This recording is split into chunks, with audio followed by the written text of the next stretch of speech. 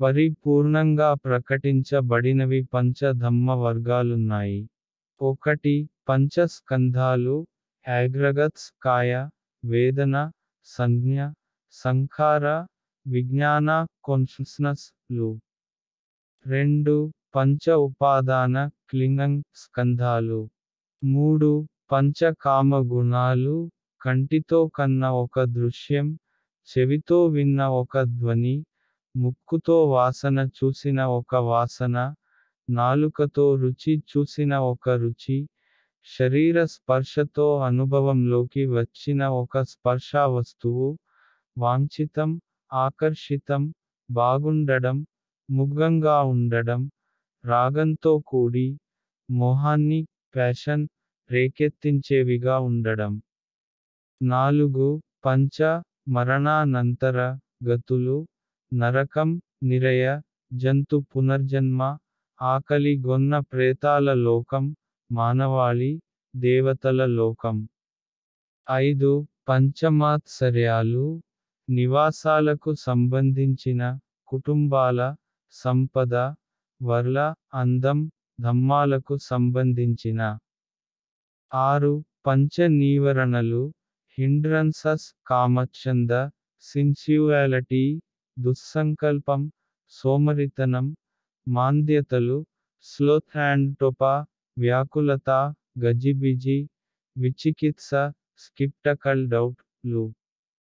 ఏడు పంచ అధోశృంఖలాలు సంయోజనలు సత్కాయ దృష్టి పర్సనాలిటీ బిలీఫ్ కర్మకాండలలో మునిగిపోవడం కామచ్ఛంద వ్యాపాదలు. మూడు పంచ ఊర్ధ్వ శృంఖలాలు రూపరాగ పాదార్థిక ప్రపంచ తృష్ణ అరూపరాగ ఆపాదార్థిక ప్రపంచ తృష్ణ మాన గర్వం అభిమాన కన్సర్న్ అవిశ్రాంతి రిస్ట్లస్ అవిద్య ఇగ్నరెన్స్. తొమ్మిది పంచ శిక్షణ నియమాలు ప్రాణహానికి దూరంగా ఉండడం ఇవ్వని దానిని తీసుకోకుండడం కామ విషయాలలో మిథ్యాచారం లేకుండుట అబద్ధాలాడకుండుట మత్తు కలిగించే వాటిని సేవింపకుండుట. పది పంచ అసంభవ విషయాలు ఒక అర్జంత ఏ బ్రతికి ఉన్న జీవి ప్రాణాన్ని ఉద్దేశపూర్వకంగా తీయడానికి అసమర్థుడు. బి దొంగతనం అనిపించే విధంగా ఇవ్వని దానిని తీసుకోలేడు.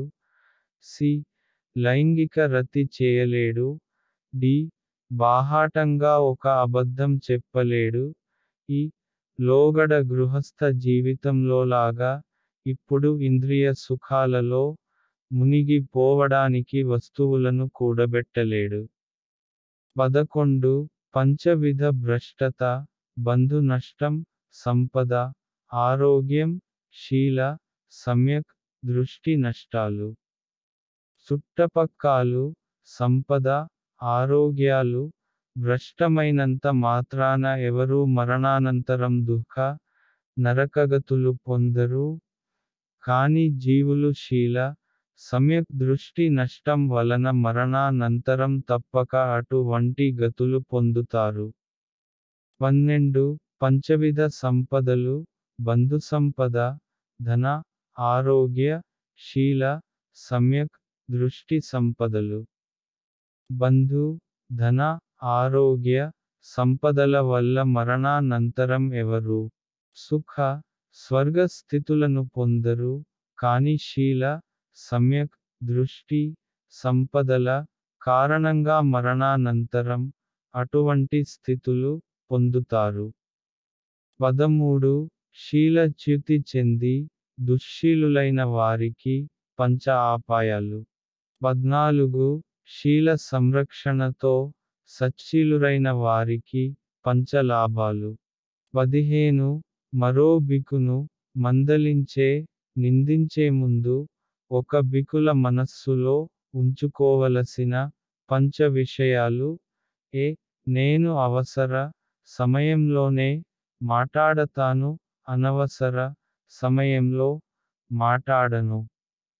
బి నిజమే పేర్కొంటాను అబద్ధం పేర్కొనను. సి.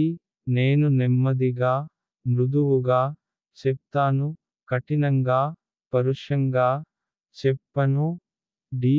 అతనికి హాని కలిగించడానికి కాక అతని మంచి కోసమే చెప్తాను. ఈ ప్రేమ నిండిన హృదయంతోనే మాటాడతాను శత్రుత్వంతో చెప్పను. పదహారు. పంచ వ్యవసాయాలు అండివస్ ఇక్కడ ఒక బిక్కు ఏ తథాగతుల జ్ఞానోదయాన్ని నమ్ముతూ విశ్వాసంతో ఉంటాడు. ఈ విధంగా ఈ భగవతులు ఒక అర్హంత సమ్మాసంబుద్ధులు బి అతడు రుగ్మత లేకుండా అంత ఉష్ణ అంత శీతలం కాని మధ్యరకం ఉష్ణోగ్రతతో శ్రమించడానికి అనువైన మంచి జఠరాగ్ని డైజెస్షన్ని కలిగి ఉంటాడు. సి. తన గురువులకు బ్రహ్మచర్య జీవితంలోని విఘ్నులైన తన సహచరులకు తాను ఎలా ఉన్నాడో అలాగే వాస్తవంగా కనిపిస్తూ అంటే తన యథాతథ స్థితిని ప్రదర్శిస్తూ కపటం. మోసం లేకుండా ఉంటాడు డి. అకుశల స్థితులను త్యజించడానికి కుశల స్థితులను పొందడానికి అతడు తన శక్తిని నిరతం ఉపయోగిస్తూ ఉంటాడు. కుశల స్థితులలో ఉండడానికి వాటిని పెంచుకోవడానికి అతడు గట్టిగా స్థిరంగా ఉంటాడు. ఈ అతడు జ్ఞాని జనన ఉచ్ఛేదాల జ్ఞాన సమన్వితుడు.